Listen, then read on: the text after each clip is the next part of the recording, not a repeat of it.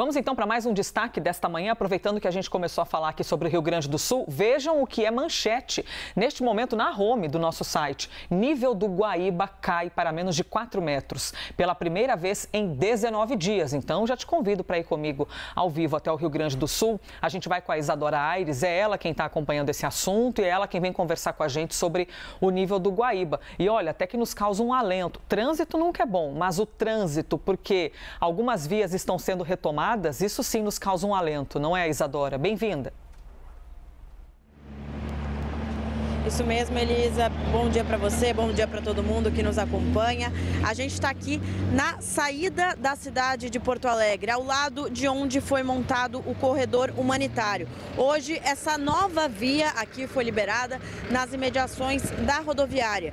Isso não tinha acontecido antes porque este espaço aqui, mais baixo do que, a gente vê lá, né, o viaduto, que é do corredor humanitário, estava totalmente coberto pela água. E aí agora, então, quando a água baixou, ele pôde pôde ser retomado.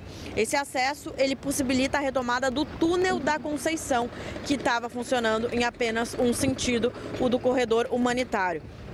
Agora, com esse novo caminho, o, o túnel pode funcionar nos dois sentidos e o corredor humanitário continua, então, com uso preferencial para veículos de emergência, mas pode ser utilizado por carros de passeio sem restrição de horário. Nessa via, mesma situação. Também pode ser utilizado por carros de passeio sem nenhuma restrição de horário. Essa, essa via aqui ser liberada é muito importante porque aqui é uma das principais, se não a principal saída da cidade. Aqui dá acesso a três rodovias que levam até o interior do estado, também até o litoral norte. Então é muito importante a liberação dessa saída, além de também levar para outras cidades da região metropolitana, até cidades que foram atingidas que a gente vem comentando muito por aqui, como Canoas, São Leopoldo, Novo Hamburgo. O corredor humanitário, daquele lado de lá, estava funcionando desde o dia 10 de maio. Cerca de 100 mil veículos trafegaram por ali nesse período. Agora, então, as duas vias estão liberadas. Mesmo assim, ainda restam 44 bloqueios totais aqui na cidade de Porto Alegre, em decorrência, então, de prejuízos causados pela enchente. E a gente teve essa notícia, né, muito boa, Elisa, de, de a gente passar hoje, que foi essa baixa então do Guaíba. Pela primeira vez em 19 dias, desde o dia 3 de maio, o, a gente acordou com o Guaíba estando com um nível abaixo de 4 metros. Para ser precisa, ontem às 11h30 da noite, o Guaíba então alcançou pela primeira vez nesses 19 dias a medição de 3 metros e 99 centímetros.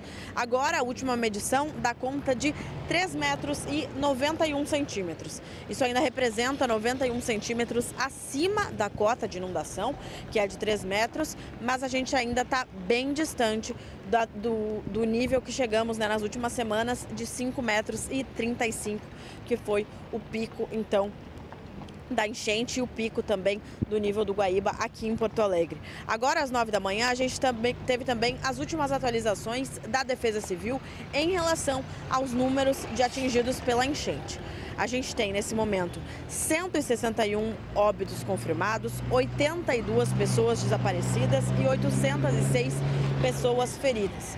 Ao todo, são 467 dos 497 municípios do estado que foram atingidos de alguma forma pelas chuvas, ou seja, apenas 30 municípios de 497 em todo o Rio Grande do Sul não foram afetados pelas chuvas. Nesse momento, a gente tem 68 mil pessoas vivendo em abrigos aqui no estado e mais de meio milhão de desalojados, ou seja, pessoas que buscaram abrigo na casa de familiares ou de amigos.